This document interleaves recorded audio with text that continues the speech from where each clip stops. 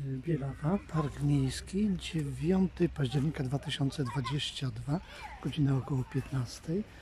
Pora spacerów po obiednich Parku Miejskim. Sporo rodzin z dziećmi, młodzieży na rowerach.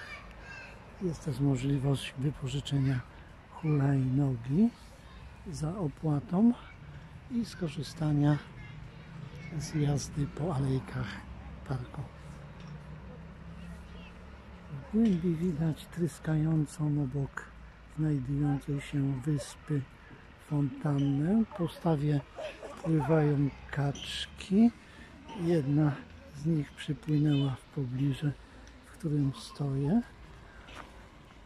W oddali widać dopływ lub odpływ okratowany, a więc odpływ zatrzymujący liście i drobne gałęzie, które wpadają do wody. Nad taflą wody zwisają korony drzew liściastych i obok znajdują się wysokie drzewa ignaste. W oddali mostek, kląb i spacerujący po alejkach mieszkańcy Bielawy.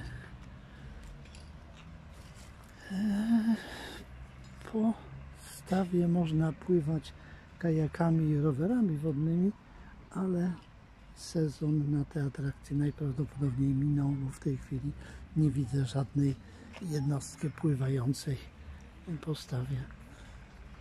Po mostku nad zatoczką przechadzają się mamy z wózkami, z dziećmi. Spacerują również psy ze swoimi rodzinami. I tak wygląda 9 października, godzina około 15 w Bielawie w Parku Miejskim. Dziękuję za uwagę.